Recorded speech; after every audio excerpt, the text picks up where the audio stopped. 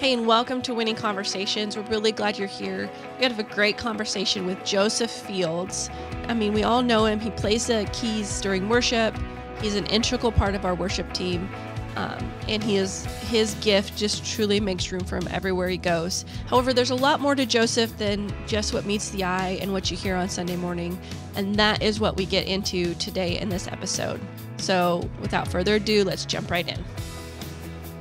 Well, hello, Heritage family. We are here with another fantastic Yeah. winning conversation. Um, this one's going to be special. This They're one all special. Is special. They're all special. Yeah. However, this one is uniquely special because we are here with Mr. Joseph Fields, the piano man, the man behind the piano and behind the music and so many things, as well as our worship leader, worship pastor. Danny, how are you doing, sir? I'm doing great. It's good to be here. Joseph, how are you? I'm good, sir. It's great to be here. Absolutely. It is good to be here.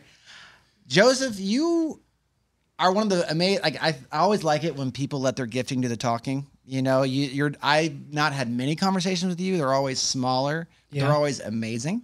And like I really do appreciate you. I always go out of my I think I go out of my way to say how much I enjoy enjoy you on the piano. Like it's always I think you have such a special anointing on the keys. Praise God. That's I do that. That's absolutely right. Kind of explain to where that started with you, if you can. It started a long time ago when I was probably six months old, maybe close to one year old, where I had an interest in the piano, and uh, I would go into the one of the rooms of our house where the piano is. We had an upright piano way back in the day, and uh, I would reach up to the keys because I liked hearing the different sounds from those keys, so the white keys, the black keys, all of those, and uh, so mom and dad sat me on the piano bench and. One day I was able to uh, uh, pick out the notes of Jesus Loves Me just by hearing it because I could, even back then, I could understand what pitch was. I didn't know what it, what the terminology was then, but I knew what the, those sounds were. And I heard that and I began to pick out Jesus Loves Me, This I Know, note for note on the piano at a very early age. wow. That's like we've said before. It's like a superpower. It's so amazing that you ha- like were able to hear that. I can hear it now. I'm and much your older. your parents obviously recognized that. They did. I mean, they're musical too, but I'm not. I mean, did they start playing at six months old also? no, they did not. I mean, that's a gift. Yeah. Yes, ma'am. So you, at one, you're this is around one. You said one years old. Yes. You're picking it out. When did you start actually like playing the piano? Besides, you know, you know the difference like picking at it Yeah. versus two hands on there, really kind of going through it. When did that start? Maybe around four or five, I want to say, when I was trying to uh, starting to understand chords. Maybe closer to two, but also at two years old, I also started uh, taking an interest in the guitar, but I wasn't playing it then like normal people do, but I was like strumming it, like laying a- across the floor and just strumming it. And so I mean, you play multiple instruments, correct? Is that I do. What other instruments do you play or do you enjoy? I enjoy the piano most of all, but also the acoustic guitar and the bass guitar and the drums. Okay. What's your your favorite is piano? Yes, sir. So Maestro, I love that. That's that's your nickname, Maestro. Is that your nickname? That what you call it? The team calls you? Yes. I, I gave him that name about seven years ago. Yeah. And, and here's the Wow. reason. Let me tell you the reason why I gave him Maestro. So we we together and um, I just start singing something and I say, hey man, what key I'm in? And oh, you in C. And I'm humming something else. Hey, what key I'm in? Oh, that's E flat. Oh, that's D.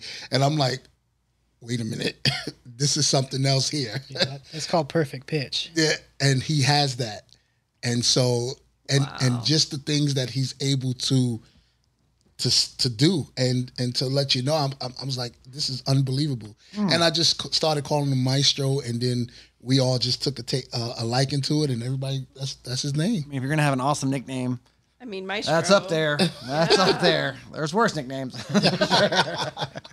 that's amazing. So you work with Pastor Danny. I think you guys have a very close relationship when it comes to the music side of Yes, our Yes, sir. and you're let's just call a spade a spade. These worships have been, I mean, they we have such Off an amazing, we have such an a strong worship right now in this house that I think people are really being like it is. People are getting to church early. You know what I'm saying? You know what kind of worship you got to get where people come early to get their seats. Um, and we have that right now. And I think a big part of that though is your ability to kind of command that piano. You know, is that something that you guys work on a lot? Well, yeah, pretty much. I mean, we're together every week, um, and so our chemistry is uh, is really good because uh, he has to wait until I get the songs. I have to wait until I hear from God on what songs for us to do, and um, when I present it to him, um, he pretty much then uh, takes it to the next level uh, musically. Um, and um, of course, that's not an easy task to do um, because you have multiple songs in one setting um, that you have to do. But for him, it seems to be a bit a bit easy because he just gets up there and um, he hits a home run every single time. And um, so it's a it's a joy and it's an honor for me to work with him because um, I see his heart and uh, he loves God, he loves people, Yes, sir. and um, he he makes a, a huge impact in what we do. And a big, but, you do composition on your own outside of the church. You and your I have, family yes. are very musically inclined and involved. Can you can you tell us a little bit about that? Sure, absolutely. We um we have a family ministry or teaching and music ministry called Fields of the Harvest or Fields of Harvest now, and we uh, we've done our own original songs since around 2008 or 2009, somewhere in there.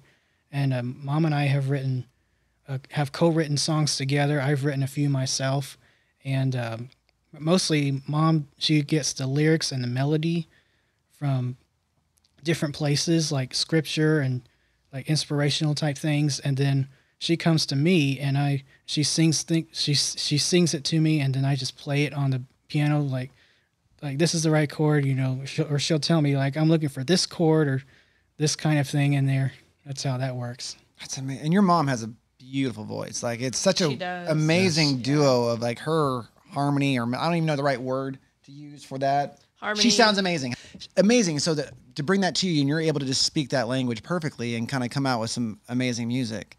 That's awesome.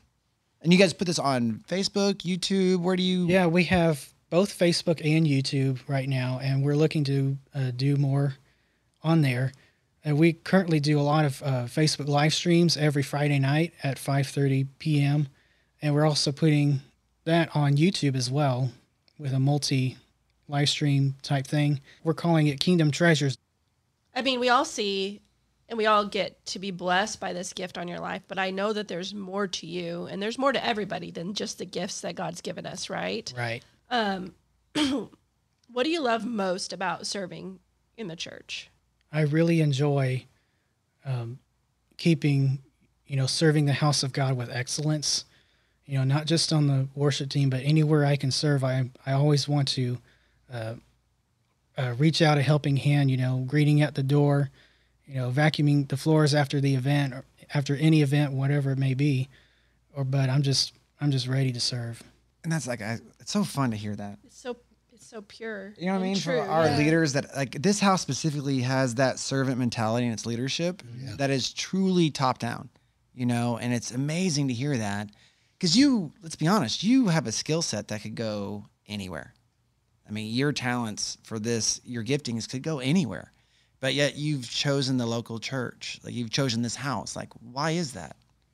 I believe it's the calling of God to serve the local church, and I can definitely see myself doing that for the rest of my life until the day that Jesus comes to take us home. Is that just just for the local community is your heart, or just like what is it about the local church specifically versus larger ministry? I definitely like the community aspect of it, and I just really love loving on the community. That's a great Love that. answer. Yeah. And uh, you know, your gift obviously takes uh, training and time, and you you put effort into it. Yes, absolutely. Um, what? How do you? Anytime you're on the stage, you're always ready. Where does that come from? Is that is that? I mean, if you if you have a gift and talent, sometimes it just happens when you walk. But does it come from a different place than just I have this ability? definitely spending time with God in the Word and listening to a lot of Bible teaching, you know, from this house and also from other places in the Word of Faith arena. Who do you? Who else do you like to listen to?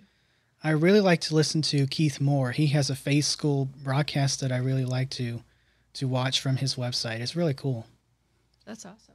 Going back to that, just being in the Word, being in, being like kind of filling yourself up before you come and pour it out to this this house, Yeah. is amazing. How do you? What is your preferred method? Is it more of like just reading? Is it listening? You said before, or what are the priorities for you when it comes to spending time with God?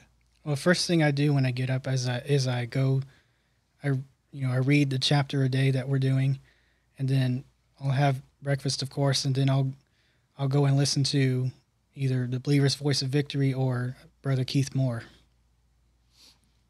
I just love practicals. I'm one of those people like it's when you hear people like on a high level, it's fantastic. But like, how do you walk your day out? Like, how do you serve the Lord day by day by day? And it's great hearing how you just dedicate that time.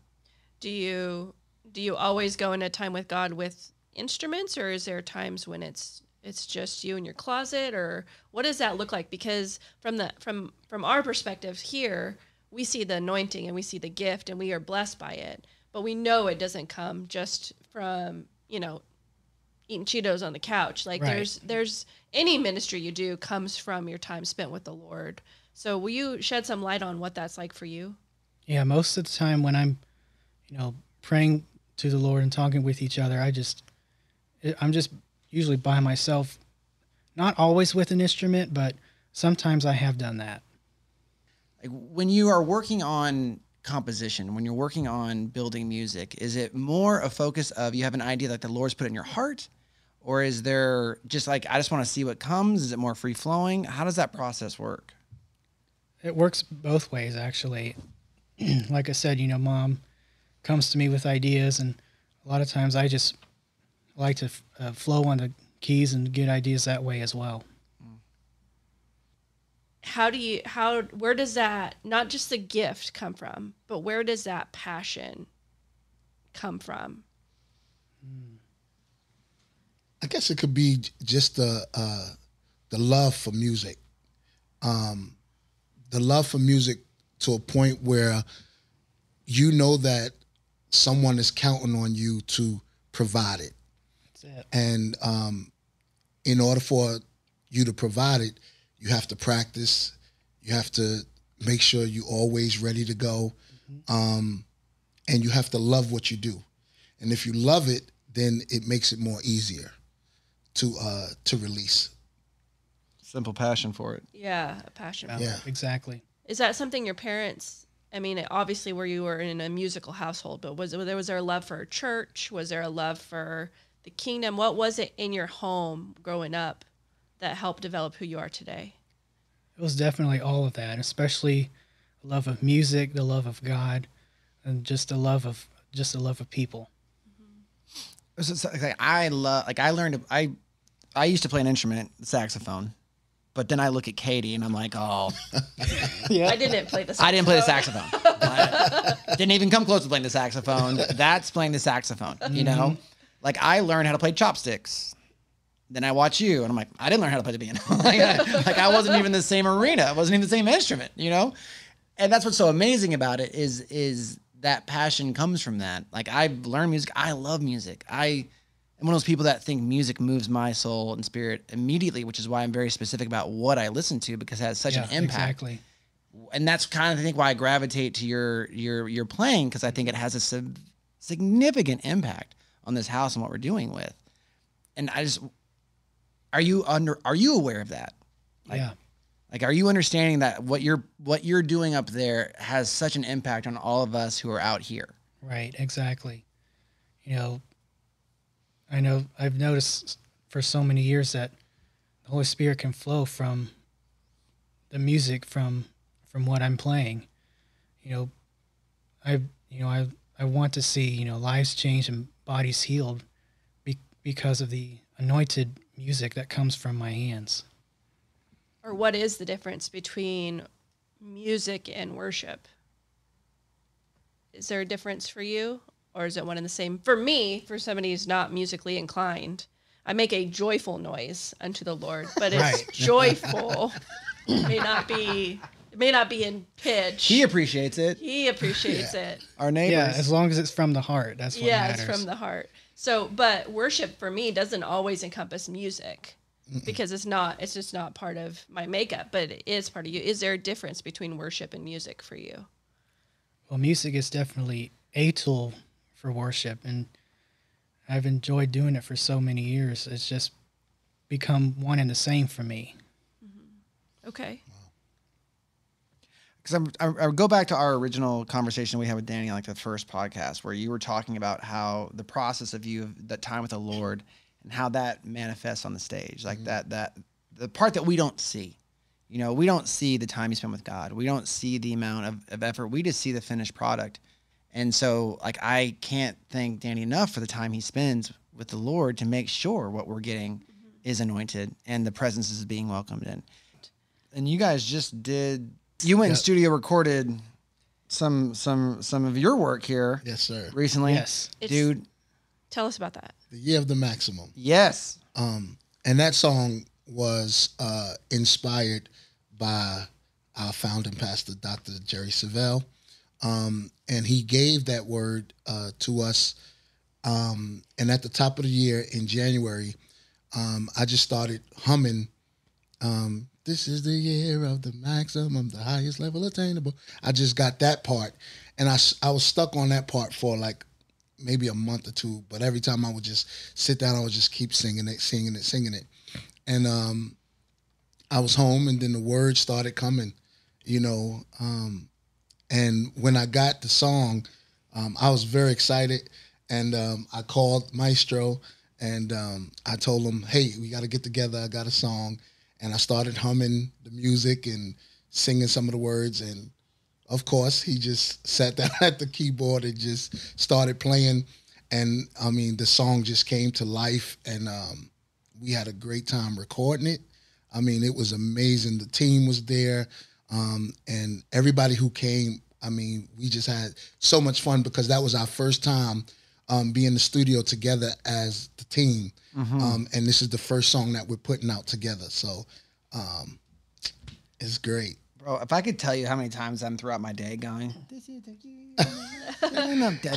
the highest level attainable." Yeah. You know, and I can't sing, but I'm always like, I'm always doing the You go the falsettos. I'm going high. I'm like, oh, do you see it? Receive it. You know what I mean? Like, Yeah. I'm always, I joke all the time. I'm like, that song is in my head more than any other song that has been in recent history. I'm, and it's always that part. I'm always, da-da-da-da-da. It's a very catchy song. it, it is like literally hilarious. And I'm I'm just so grateful to God because um and that goes back to just being in tune with what what's coming from the house. And um so what we're what we're doing is not to bring attention to ourselves, but to always make sure that we are connected with the house. Whatever is being spoken, whatever is being said. So if Dr. Savelle or uh, Pastor Justin releases a word, um, it is my job um, if there's a song to make sure that it coincides with what's being spoken. That's awesome. And you played on that. So when we hear the single, it's you playing. Yes. Yeah. Yeah, that's him. He well, that's him on. You're gonna hear piano. You're gonna hear organ sounds. That's him. You're gonna hear synth. That's him as well.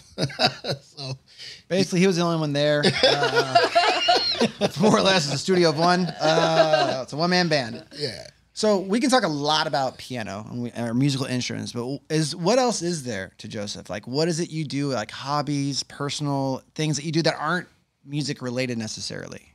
Yeah, outside of music, I really enjoy uh, doing YouTube things. Um, I have a hobby for trains and different things. I just Say trains, yeah, trains. like model trains, or I have two model trains, but I also like you know the trains in real like, life. the, like you like full on like engineering trains. yeah, Okay, yeah, those are those are really cool to me. That's one of those things that's been that I've that that has interested me since I was a little kid. You okay. know, seeing trains go by in the city, I'm like, that's so cool. I could, even in the even in that, I could. It's just wow. Do you just like learn all about them, like their engines, their components? I have in the in the in the last few recent years, I've been studying on those. That's awesome. You said YouTube things. What do you mean YouTube things? I like to you know live stream and do uh, connect with different people. There's a lot of the people that are connected to my channel are, are from outside of the U.S., which is really cool. like the Philippines, and there's uh, other places like Taiwan and Hong Kong, just many different places. That's incredible. Yeah, it's amazing. So Do you see yourself ever moving into the position of like a teacher of this, kind of like sharing your like your passion, your skill sets with others, like in terms of like teaching people how to play a piano or like kind of teaching people how to compose music or in that kind of lane? I do. I do see myself doing that with, you know, teaching, you know, this is how I play this. And I've done videos of that in the past, but I definitely want to do more of that. Okay. um, thinking about being on part of the worship team, Right. and you're here, and you're in rehearsals every week, and you guys are on the stage. I'm sure there's dynamics involved that we don't see. What is it like to ebb and flow with the team? What are those dynamics like in the worship rehearsal?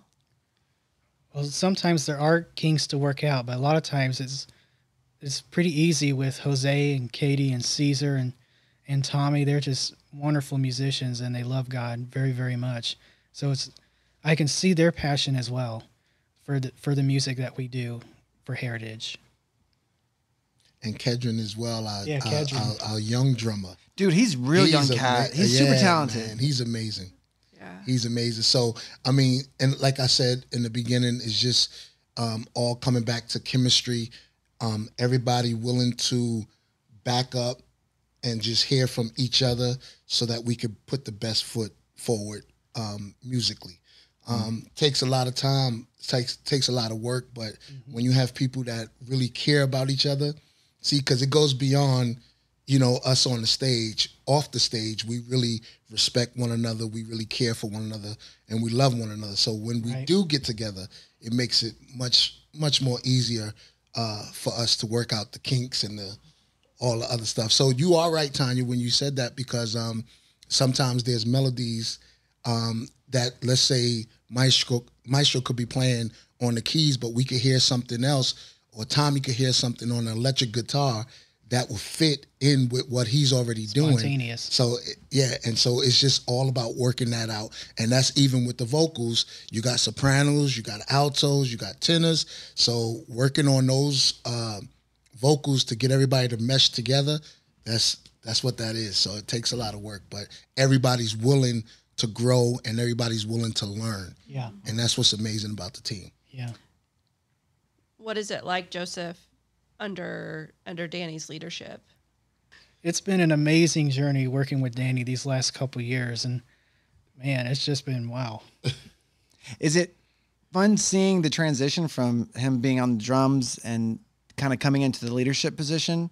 Yeah. Because you were you've been there through, uh, from my from my understanding, all of it, correct? Yeah. Just about, yeah. And w- so, what's that like been for you in terms of just like the a culture shift of, of worship?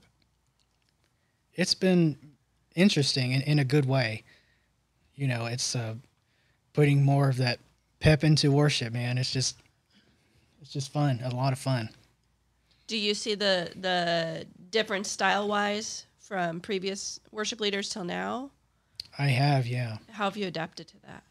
It's been a easy transition for me. You know, I've been playing for so long. It's easy to transition from one person to another, Okay. and and you know, hear what they hear what they want musically, and to adapt to that.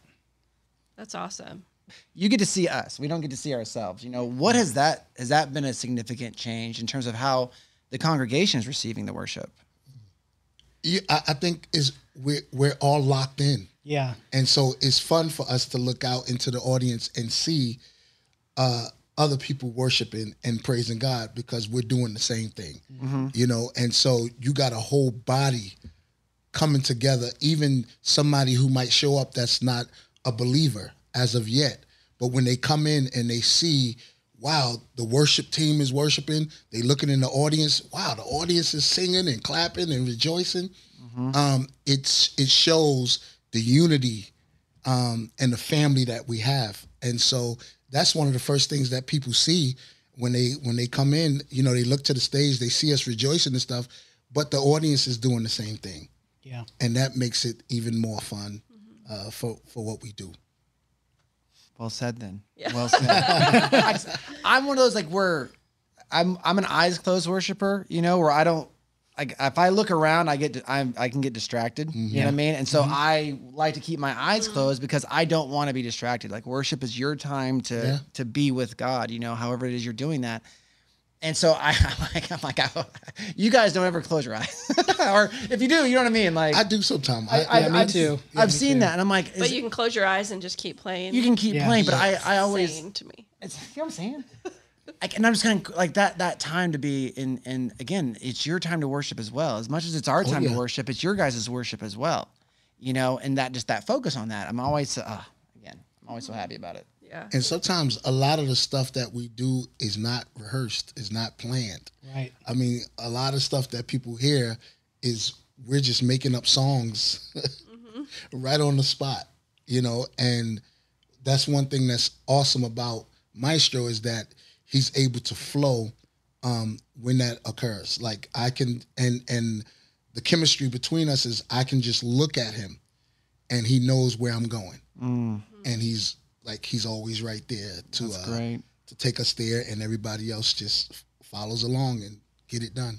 That's awesome. Yeah. So, just to understand from our perspective, because we don't have these gifts and they get to be on display for the kingdom of God, for God, to give Him glory, um, it is a beautiful thing to witness and participate and to be in worship with people who have such a gift and there and you guys just you just freely give it and you give it week in and week out and i don't think that can be understated the amount of time even though it's a natural gift joseph and it's just flowing out of you and you've done it since you were you know a toddler um, there is something special about a heart who wants to give that to god. A lot of people don't. I mean a lot of people take their gift and run to the world with it and you Right. haven't done that is there is there any has there ever been a time when you had thought about that or felt like man i could you'd probably make millions with your gift. I mean like if you just took it to the world and ran there has there ever been a time when you've when that's been a temptation or has it always been about the house of god It's always been about the house of God. You know, I could go out there and make all the money doing secular music, but no, I'm just going to be obedient and stay stay doing what God has called me to do. Awesome. That kind of leads us into the question we ask everybody. And we love this question because there's just a variety of answers. So there's no real wrong answer on this. But you know, making winners in life is what we do at Heritage. It's the theme. It's why Dr. Savelle, you know, opened the church. It's it's everything we do. It's it's why we worship the way we do. Right. When you hear that statement, what does making winners in life mean to you? It means uh, being an overcomer. You know, uh, any any man lacks wisdom, let him ask of God, and he can become that overcomer and triumph over any circumstances that the enemy may try to throw against us, and say, "No, Satan, I have authority over you in the name of Jesus." It's a great, Straightforward. it's a great answer. Love it's great. I like how we've asked we've asked this question so many times now. I know. And every time we get a different answer, and every one of them is amazing. It's like it's a crazy how that statement, making a winner in life, in a house like this, has so much meaning to so many different people. It's so great to hear. And it's so personal. It means something different to so many people. Absolutely, it's fantastic. Anything else we should touch on, Man, I- Pastor Danny? I, I, I want to just say, you know, the majority of the people that come in contact with Maestro, they see that he's uh, very quiet, he's very laid back, um, and there's a lesson in that. Um, what he's showed me is that you don't have to be loud to be powerful. He's a real powerful person That's fantastic. with what he does. But his aura, he's laid back, he's quiet. And that's something for all of us to take into consideration. And um, I just love working with him. I love his I love I love him. I love him. I, I, I have a genuine love for Maestro and um, I'm looking forward to what, you know, bigger and better things that God is gonna do uh, with us. It's awesome. That's great. Well, thank you again. First of all, for sharing your gift with us and for being obedient to God and being here in the house. Um, we count it a huge honor to have you, have you both on the stage, leading us in worship, leading us into the presence of God. So, first of all, we just want to say thank you for that. Um, a lot of people would run and take the gift because your gift, I mean, perfect pitch and the the anointing on your life. I mean, you could you could run to the world and you haven't. You've chosen to honor God with that, and I think it's a beautiful thing. Um, and I hope people catch that in your heart. And secondly, thanks for coming on our podcast. Yeah. You're It- welcome. I enjoyed being here today. It's been so wonderful. We will link where you can download the Year of the Maximum single from Heritage Worship, where you hear all of the great talents and gifts uh, on display. Um, put links to Joseph and his family's ministry, Fields of Harvest, a where you of can links. find them. There will be a lot, a lot of links. It's a busy Uh, family. Yeah. And then I had heard that you actually released an instrumental album called My Heart Yearns for You, right? That is correct. and I'm gonna link that also. What? I know. So many things. Come so on, many Joseph. things going on did with Joseph. Christmas one last year, didn't you? It's called uh, Christmas with Friends and Family. We're gonna link it all. We're gonna, as I said, gonna it's gonna be the most linked It is. episode ever of like just like oh bang bang. But we want people to be able to find you. Absolutely. Because your gift just makes room for you and brings you before great men, just like the word says. Mhm. We're so blessed by this time with Joseph and Danny. Um, we pray that it was a blessing to you. And next time you go into worship um, and you hear him playing those keys, be thankful to God for the gift that he is. Um, again, next week, next Friday, we'll have another episode of Winning Conversations.